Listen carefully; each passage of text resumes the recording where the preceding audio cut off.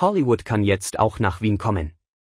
Nach nicht einmal zwei Jahren Bauzeit ist es soweit, die beiden Filmproduktionshallen in der 7. Heidequerstraße 6 im 11. Wiener Gemeindebezirk gehen in Betrieb.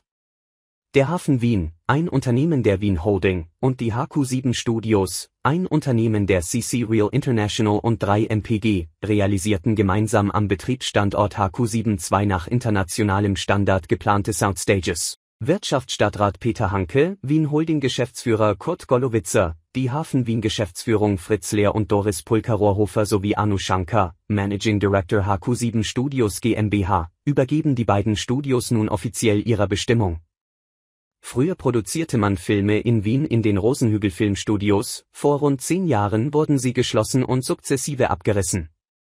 So entstand eine Lücke in der heimischen Filmbranche. Als Ausweichquartiere wurden in den vergangenen zehn Jahren dann oft leerstehende Industrie- und Lagerhallen im Raum Wien provisorisch und aufwendig zu Studios umfunktioniert.